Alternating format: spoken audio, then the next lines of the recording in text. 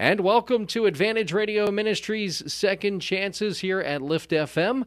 My name is Greg Hennis, and this is our weekly program that we have the opportunity and pleasure to bring each and every Tuesday evening uh, on the radio. And uh, we have such wonderful guests week in and week out. But you know something? It's wonderful to visit with the guests, but the number one reason this program is on is to A, encourage you, and B, most importantly, give you the opportunity, if you don't know Jesus Christ as your Lord and Savior, the opportunity to accept Him into your life. And that is the case each and every week. And that's the number one reason this program is on, not only here on the radio, on Lift FM, but also on the uh, World Wide Web, liftfm.com. And of course, all the programs are archived at AdvantageRadioMinistries.org. And our guest today is Dr. Gary Lovejoy. He is the author of the book entitled Light in the Darkness Finding Hope in the Shadow of Depression. And Dr. Lovejoy, I just have to start off by asking this question. Uh, a lot of times you'll hear the word love in a Christian uh, name, and you say, Well, is that his real last name, Dr. Lovejoy? He's a Christian. Is that really your last name? It is my last name. I often. Uh I often uh, joke with people that uh, I'm found in Scripture because in Galatians 5:20 it says, "For the fruits of the Spirit are love, joy." and well, not only that, but I live in Happy Valley, uh, Oregon. So um, uh, when I ever, whenever I travel, they look at my ticket and they see Lovejoy from Happy Valley, and they look at me and say, "Is this a joke?" you can hardly believe this. Uh, that's good. And I tell them, "Well, I'm a, I'm a therapist as well," and then they really look at me strangely. I'm sure they do. I'm sure they do. Uh, Dr. Lovejoy, uh, I know you've been a, a, professor of psychology and religion for over 32 years. Give us a little bit of background on who you are, uh, a little bit more about where you were born, if you're raised in a Christian home, and maybe you could even uh, incorporate a little bit of your testimony uh, in that uh, of how you came to know Jesus Christ as your Lord and Savior? Uh, yes, I'd be happy to. Um, I was uh, born in Long Beach, California, actually, in, in a Christian family, and uh, was actually raised in church. But but it wasn't until I was seven years old that I accepted Christ as my Savior, and um, and I, uh, I remember very vividly in those in those days. Um, uh, the that was music that brought me to Christ. Uh, uh, certain pieces of music would uh, convict my heart, and I eventually uh, realized that uh, I couldn't get away from that music, nor could I get away from God's uh, call. So uh, that's how I became a Christian. Um, I uh, went on and, and uh, graduated in psychology and and got my PhD in psychology, and then um, I also along the way uh, received a a degree from Fuller Theological Seminary, and uh, and as well, and that enabled me to be able to teach both uh, psychology and uh, uh, and religion courses in a secular institution, which was a unique opportunity. I was able to teach the Old and New Testament classes uh, there, and uh, it was a great privilege to teach them. And I taught both Christian and non-Christian uh, students together, which was quite a challenge and uh, a great opportunity. Uh, then I've also had a private practice uh, for the past 35, 36 years. Um, I established uh, uh, and founded uh, Valley View Counseling Services, and we have been working with families and um, individuals, and pa- I do a lot of work with pastors and and church leaders and missionaries uh, in, in their struggles uh, in life, whether it's with depression, which often is the case, or anxiety, or many other personal issues. Maybe uh, do a lot of marriage counseling as well. So um, uh, it gives me a lot of opportunity uh, to do that. I've been doing a lot of writing in more recent years, and uh, not only this book, but I wrote uh, a companion book that actually goes with this this book on um, Light in the Darkness, which is uh, aimed directly toward pastors. It's a pastor's guide to the shadow of depression and I believe it's the first uh, book that's been ever written that uh, is directed directly to the unique circumstances of the pastors and how they have to, uh, what kinds of pressures that they deal with every single day, and the sense of uh, isolation they often experience within the church in terms of dealing with their own individual problems. And uh, so uh, that was a great privilege to write. And so I, I have a, wide-ranging ministry, both in terms of counseling as well as as opportunities to teach, and I speak in a lot of places as well. Uh, how long ago was it that you put out your first uh, published uh, work? Uh, well, it was 2009, and uh, it was that was a, book on depression. This one is uh, another one on. The reason that we I, I've teamed with a, a primary care physician who specializes in antidepressant medications, and he's a Christian as well. And the two of us put on depression seminars called Breakthrough Journey Out of Depression, and um, and we uh, have conducted those all over the Northwest. And uh, we've uh, we've just encountered so many people in the church who are suffering, who are struggling with depression, and who often feel uh, uh, feel ashamed that they're depressed. They feel that uh, somehow depression is uh, is uh, is not acceptable for the Christian. That somehow they make mistakenly think that good Christians are only happy Christians that if you're depressed, it means that you somehow failed God and can no longer be used for the kingdom, and that faithful Christians have no justification for being depressed. However, if you read Scripture, and we share these in our seminars, that you discover how false these notions are, because most of God's most trusted servants in the Bible experience depression, sometimes even suicidal depression. Uh, servants like Moses and Elijah and Jonah and Job and Jeremiah and Samuel and David in the Old Testament, and of course the apostles uh, Peter and Paul in the New Testament, they all struggled with depression, but God did not reprove them for uh, lack of faith or uh, uh, lack of following Him, but rather they gave, He gave them specific directions in His compassionate character to how to deal more effectively with their emotional struggles. So um, uh, it is a great privilege to be able to uh, address the issues of depression, and many, many people came forward and, and were relieved to be able to talk about their depression for the first time. So uh, we have a, I have a real heart for people, uh, especially in the believing community, who are struggling um, in ver- with various uh, kinds of issues, including uh, depression and anxiety, and uh, and that's where uh, we've kind of focused our ministry. Uh, although I do an awful lot of marriage counseling, in which find a lot of depression there as well. Well, certainly, uh, certainly the words depression, the words anxiety, as uh, you just can't help but uh, talk to people that are experiencing problems. Those words usually come up, and uh, it just seems more and more of a common occurrence. Uh, even recently, nationally, the word depression came to light when the uh, revolution or revelation came out that. Uh, the well known actor Robin Williams, uh, of mm. course, committed suicide but had suffered from depression. Just another example of how many times you hear the word depression, anxiety. Those things are talked about over and over again, aren't they, Doctor?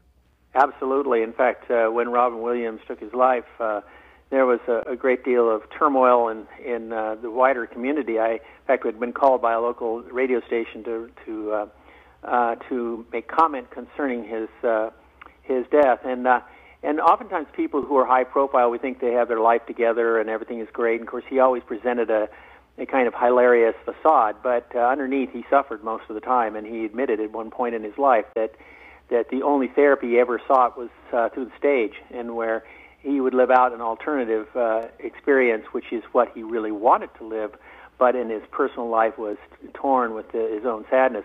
It's interesting to say that that uh, even in my own field in psychology, uh, one of the uh, founders of psychology was Sigmund Freud, who was uh, a very depressed man. Uh, he uh, he was uh, brilliant, um, but at the same time, uh, he suffered depression for the majority of his life, and he spent most of his life predicting the end of his life. And uh, he didn't die until he was 84, but uh, but he even was for a while um, uh, took cocaine and other kinds of things because he said it, that life was too difficult to experience without some sort of palliative to uh, blunt the force of life. And and so there are a lot of depression is so widespread, and and um, and a lot of people think uh, they're the only ones that are experiencing it because uh, they are not aware of just how widespread it is. But 19 to 20 million people in this country are experiencing some level of depression or not, uh, of, of some kind. And then, uh, as well as, uh, and this is an astounding statistic, um, that 70% of pastors, and study after study shows this, uh, 70% of the pastors are experiencing some level of depression and uh, and it may be one reason why you don't hear depression mentioned very often in the pulpit. You would think that uh, given the fact that depression and anxiety are the two most common emotional disorders mentioned in the Bible, uh, that they, you would hear a sermon from time to time on them, but you almost never do. But p- part of the reason may be that uh, many pastors themselves are struggling with this issue and feel, uh, some of them I know, because um, I worked with them, feel ashamed that they are and they need not. Yeah, certainly when you, you hear the word pastor, the next word you uh, don't expect to hear is depression uh, and those uh, two words back to back. That's for sure. Absolutely. Yeah. And they they, sen- they sense that, and they that's why there was a pastor here locally that uh, was going through severe depression, and in fact is hap- hospitalized. But the uh, message that was put out to the church was that he was sick, and and so people were praying for him and didn't know exactly what was wrong. And then finally, one day he stood up in his in the pulpit and admitted that he'd been struggling with severe depression and had been hospitalized for that. And after he did that, that moment of candor was an emo- amazing result in his church because many people came up afterwards and and uh, and expressed not only their compassion for him, but also shared some of their own stories of pain and opened up the church in a way he had never anticipated. We're visiting with Dr. Gary H. Lovejoy. He is the co author of Light in the Darkness Finding Hope in the Shadow of Depression. Uh, Dr. Lovejoy, who did you team up to uh, put this book out with? Uh, well, it is with uh, Dr. Gregory Knopf, and he is the uh, um, he is the physician I was referring to that uh, together we have put on these seminars. We actually wrote this book partly because when people came up after our seminars and asking us, us to, uh, is there material that is related to the way we were talking about depression, and we discovered there really wasn't, so we decided to write uh, a book of our own. And so that's what we did, and that's how this book came into being. Mm. Uh, the book uh, obviously is, is dealing a lot with darkness and, and depression and, and, different things like that. And, and speaking of depression, you refer to depression in the book as an uncomfortable alarm system designed to get our attention. What are some of the symptoms that uh, those suffering with depression could expect? Well, uh, that's a very good question because a lot of people don't necessarily recognize that they're depressed. Um, there, of course, are feelings of sadness and emptiness almost every day, most of the day. Feelings of worthlessness and inadequacy, low self-esteem, in other words. Feelings of helplessness and hopelessness. Uh, these are all fairly apparent as far as uh, depression is concerned. But then there's also a loss of interest or pleasure in almost all activities, and a kind of loss of energy or constant fatigue that people feel. Uh, that's one of the reasons why people think I must have some sort of low-grade virus or something uh, they often have social withdrawal. They don't want to be around people, or if they are, most of their relationships are socially dysfunctional.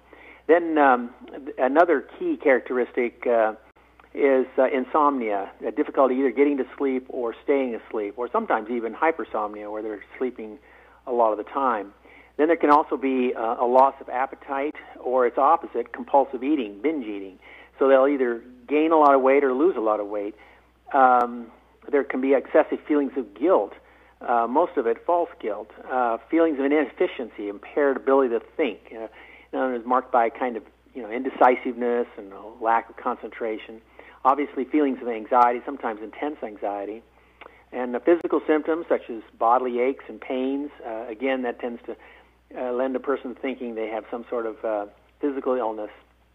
And then they can be restless and hand wringing and slowed speech and and then sometimes outbursts of anger, increased irritability, blaming others, exaggerated sense of frustration.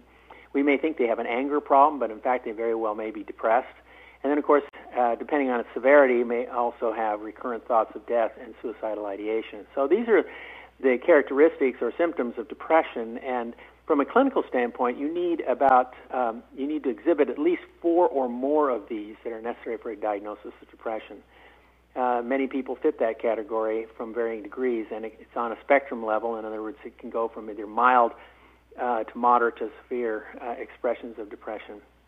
We're visiting with Dr. Gary H. Lovejoy. He is the co author of Light in the Darkness Finding Hope in the Shadow of Depression. Dr. Lovejoy, is there a website that one could visit to learn more about you, or what are the best places to uh, pick up a copy of this uh, book? Uh, yes, uh, there is. Um, uh, first of all, um, we have our own website. It's called uh, depressionoutreach.com, and we have many of our uh, our things, uh, both our philosophies and, and our backgrounds, and some materials that are presented there. uh, that people can. In fact, actually on that uh, site, they can actually take a, a self-administered test and determine whether they in fact are depressed. Um, then there is also uh, the book can be found in most of the bookstores, including Barnes and Noble and all the Christian bookstores, as well as on uh, WPHOnline.com. It's uh, published by Wesleyan Publishing House, and that is their uh, website, product website. Um, and so it's available there as well. And it's also available in, at Amazon.com. And so these are there are many multiple opportunities for them to purchase the book in various uh, venues. And you said that website was depressionoutreach.com? Yes. Okay. Back to the book, Doctor. Uh, what is the connection uh, between anger and depression? And is there a connection, I guess? Uh, yes, in fact, there is. That's a very good question. Uh, while anxiety is the, the fear of being hurt in some way, such as feeling you don't matter, uh, anger is the most common reaction to actually being hurt. You can deal with anger in one of four ways. You can either repress it, which is an un, uh, uh, unconscious psychological process where you simply drive down anger because it's unacceptable to you, or you can suppress it, which means that you know you're angry but you're just driving it down underneath or you can express it, which means we let it fly and in expressions of rage and whatnot. Or finally, you can confess it, which means um, that you talk through your anger with the person toward whom you feel it toward resolution. That, of course, is the most healthy uh, way of dealing with anger, but a lot of people have difficulty dealing with anger. And when we shove our anger under the rug, it goes underground as resentment at, at first, and then can lead to bitterness and therefore significant depression. And so while anger is the acute uh, emotional alarm system that says that something is wrong, depression is the chronic emotional alarm system that says something is wrong and needs our attention. We're visiting with Dr. Gary Lovejoy, the co author of Light in the Darkness uh, Finding Hope in the Shadow of Depression. Doctor, you also suggest that depression is not only normal, it's also a part of our design. Can you explain that to us? Because that's not what we would expect to hear. Yeah, that's an excellent, uh, excellent question. Uh, depression, as I said, before, as we talked about a moment ago, is in reality a signal. It's an emotional alarm system that tells us that something is chronically wrong or missing, either within ourselves or in our relationships or possibly within our circumstances, oftentimes a combination of all three. And depression tells us that we need to attend to something that has damaged us uh, in the past and is likely still damaging us in the present. And I often call depression as an instrument of our divine image to protect the integrity of that image. And you might ask, well, how can I say that? Well, partly because all alarm systems, though very unpleasant to experience, are always designed to protect us. For example, we have smoke alarms, fire alarms, intruder alarms, alarms in your car that you drove to work this morning. Uh, and many of these alarms, like if you ever had a intruder alarm go off in your home, it's extraordinarily unpleasant to listen to. Uh, but the idea is to alert us. The idea is to make us aware that something needs our attention. Same thing is true, uh, probably the most powerful uh, physical alarm system we have is pain in our bodies. Uh, when pain is elicited, it's because it's telling us there's something wrong in our body and we need to pay attention to it. The same is true for uh, depression. And I often, we often have a saying that depression is to the psychological self as pain is to the physical self, because it has this important signaling function. And as, and as an instrument of the divine image, it's designed to either protect it or to direct our attention to its repair. So, in that way, depression is really not the problem, even though we feel it is because it's such a dreadful experience, but rather it's a signal that there is a problem. In that sense, then, depression is your ally, not your enemy it's a clarion call to intervention and change. And so far be it that we become ashamed of such an important alarm system provided by a merciful God who desires, I think, uh, that we heal from the damage done to our person. Is depression, in your opinion, a result of uh, biology, environment, or your own choices? Uh, well, that's a, that's another excellent question. Uh, we used to think in either or terms, but now we think in both and terms. Um, the uh, causal factors can be predominantly one or the other. For example, in bipolar disorder, it's predominantly biologically determined. It's about 80% biological, about 20% environmental. The fact that it involves both means that both counseling and medication are important in uh, working with uh, people who have bipolar disorder or other um, biologically predominantly based uh, depression, such as anything involving hormonal dysfunction, such as uh, perimenopausal depression or uh, postpartum depression and so forth.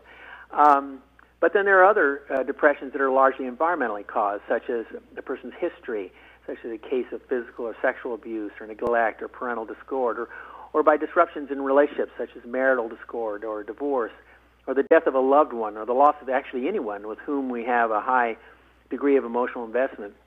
Or it simply can be the result of external factors such as uh, job stress. So um, our choices have to do with how we elect to respond to these stressors that we encounter, whether they're internal or external. Uh, certainly, we can make good choices as well as bad choices, choices which can play a major role in whether we become depressed or not. Uh, in other words, it's not merely the presence of stress that matters, but rather how we subjectively evaluate that stress that usually determines our resulting mood state. We know, however, though, that that our depressive reactions to environmental events can cause a change in our brain chemistry, just as changes in our brain chemistry can cause a response of depression. In other words, it goes both ways, which is why it can be so complex and so difficult to sort out sometimes all the causal factors. That's why a trained therapist is often necessary to more precisely identify what's going on and why. In your book, you write that we must know God's voice in the darkness of our pain. How then can folks um, hear that voice when they are just so fixated with all the pain? Uh, another excellent question, um, because that's very true. People do get very fixated by their pain. I think this partly depends on your concept of God. If you see God as someone to fear like a dictator, then you may very likely see your pain as punishment by God. If you see God as a kind of accountant who legalistically determines the amount of good versus bad in your spiritual bank account, you will see your pain as evidence of your failure to please God enough. Uh, if you see God as, as distant and essentially disengaged, you will see your pain as a hopeless condition which God will simply ignore. Or if you see God as a rescuer, as many people do, you will see your pain as a mandate for God to do something about it. And if He doesn't, you are devastated and uh, oftentimes begin to question your faith. In each of these cases, your pain will merely further blind you, blind you to the true nature of who God is, and as a result, you'll sink into even deeper despair and in the aloneness of your emotional pain. But if, on the other hand, you see God in His wholeness as one who cares for His people, who you will listen to His voice in the midst of your pain with the anticipation that He will teach you something more about Himself or something more about yourself through your pain, that He will grow you in some significant way. I remember a pastor after we had worked, he'd been gone through severe depression, and uh, we uh, worked together for almost a year. And to, at the end, he said, "You know, I now consider my depression as God's gift to me." And I said, "Oh, really? Why is that?" And he said, "Because." He said, uh, it has softened the sharp edges of my personality. He said, I, I'm a softer person. I, I have more compassion for people who hurt now. And he had several people in his church come to him and say, you know, I've always been somewhat intimidated by you, but now you have a, a entirely different demeanor, and I feel much, you're much more approachable. And I feel much more comfortable uh, working together with you. And so he, he really considered his depression even though it was a dreadful experience to go through, as God's gift to him, that he grew him through it, which is what the book of James is telling us. He says that book of James is saying, um, he uses the Greek word hupomenen, which means to remain under. He says that we might pray that we would remain under uh, the, the pain and difficulties we're going through until God has completed his teaching in us. That's a very difficult thing to do because normally we just want out, and that's how we pray. You know, get us out from underneath this pain and, and uh, and difficulty we're experiencing. But but James uh, suggested that we pray that God would give us the emotional and physical strength to remain under it until He's completed His work in us. And I think that's uh, that's a great challenge, and it's much more difficult than it sounds oftentimes. Last uh, couple of minutes uh, in the final section of your book, uh, Dr. Lovejoy, you provide practical steps that help people to get their lives back on track.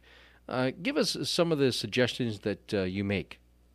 Yes, um, there um, we make quite a few different suggestions during that, but I think the one I will comment on is uh, is the uh, the whole idea of need language versus preference language in in terms of our internal dialogue.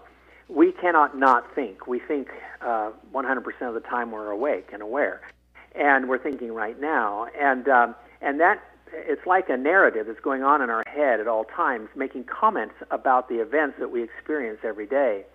And if we use need language, um, and you say, well, what is need language? That's language related to a need. That is something necessary for survival, like need for food, need for water, need for air, need for shelter, and so forth. There are very, very few needs, actually. And whenever we do that, it greatly uh, exacerbates, exacerbates the emotion around it. For example, if I uh, if a if a need is a true need is being thwarted, if, if you're being blocked from air, getting air, like a person who's drowning, they what do they do? They panic. If someone yells fire in the middle of the theater, people panic and run for the for the exits. Uh, panic is the normal response when a need is being thwarted. Well, what happens if I psychologically convert something that's really a want, such as I want your approval, and I psychologically in my head convert it into a need? In other words, it becomes like essentially a pseudo need and I think I need your approval. Well, what if you don't you give signs you don't give me your approval? I will panic and I will do the exact same thing. I will become distraught and I will do anything, sometimes even compromise my values to get your approval. And so, and if I don't, I fail to get it, I will sink into despair and depression and so forth. Uh, this is what happens when we think in terms of need language as opposed to preference language. Whereas uh, preference language says, I'm disappointed, but it's not the end of the world, and, uh, and I will look for uh, approval elsewhere.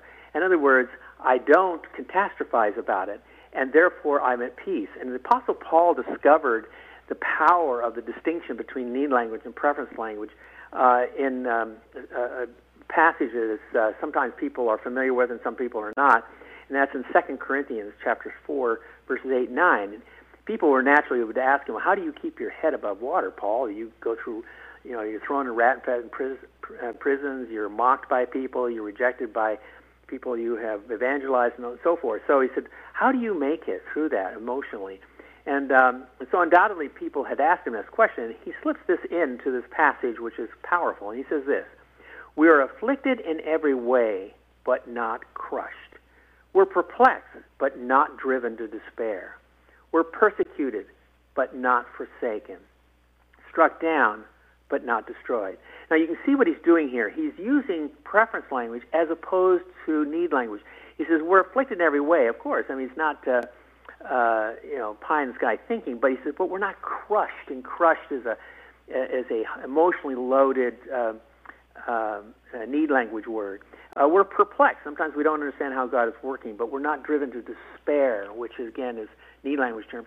Uh, we're persecuted, which is simply a statement of fact, but not forsaken, which is again a need language term. And then we're struck down, meaning we get discouraged sometimes, but we're not destroyed.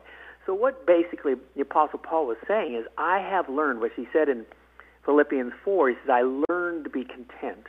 And he says, I've learned to be content. How did I do that? I learned to use need language. I mean, I use preference language as opposed to need language.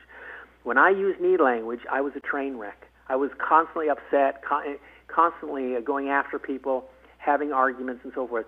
But I mellowed through my years. God mellowed me because I came to realize that preference language was what God wanted me to use, and calm. It kept me calm under difficult situations, as opposed to use need language to describe those things to myself, which only emotionally exacerbated uh, the, uh, the the experience.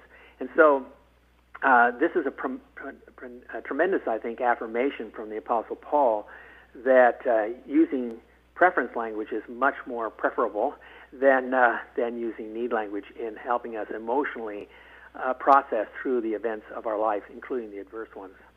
Not only is it important to seek professional help, but the help does begin by asking the Lord to lead, guide, and direct us in our lives, uh, whether whether you know him, if you ask him to help you, of course, he will do that. But if you don't know him, that's a great place to start. And, Doctor, we want to give our listeners right now, in our last uh, moment or two, an opportunity to ask Jesus Christ into their heart if they don't know him as their Lord and Savior. Would you graciously lead us in that prayer? Absolutely. I'd be happy to. Dear Heavenly Father, we just pray, Lord, that in, in this world in which we encounter so many difficulties and hardships and adversity. We just pray, Lord, that that uh, those out there who are listening are struggling with these things and yet do not know you and do not find the comfort that is found in their faith in Jesus Christ, we just pray, Lord, that you would soften their heart, that you would open their heart and and uh, so that they might invite you in and discover that the Prince of Peace brings that peace, that his promise is fulfilled, and begin to realize that there is more to life than just what meets the eye, but rather is the depth of um, God's love in their lives. So, Lord, we just pray that you would give them that wisdom and understanding and grow them through their experience that they might come to serve you and, uh, and enjoy the fruits of their labors through Jesus Christ. We thank you, Lord, for the time that we can be together and talk about these things and are reminded of your undying love for us. Thank you for these things now. In Jesus' name, amen. Our guest on Second Chances has been Dr. Gary H. Lovejoy, author of Light in the Darkness Finding Hope in the Shadow of Depression. Real quick, Dr. Lovejoy, the website that one could visit to learn more about uh, you, your work, and also places the book is available. Uh, yes, it's uh, depressionoutreach.com is our website, and uh, place where you can uh, purchase the book would be either Amazon.com, uh, would be in many of the bookstores, including book, uh, Barnes and Noble and all the Christian bookstores, um, and then also at WPH online. That's uh, Wesleyan Publishing House uh, official line online uh. Uh, that also that is also their product line, and you can buy it directly from the publisher that way. So these are the ways that you can purchase the book, and hopefully it will be helpful to you in your life and in strengthening your, your faith in Christ. Our guest on Second Chances, Dr. Gary H. Lovejoy, the author of Light in the Darkness Finding Hope in the Shadow of Depression. Tune in next week for more Second Chances right here from Advantage Radio Ministries on Lift FM.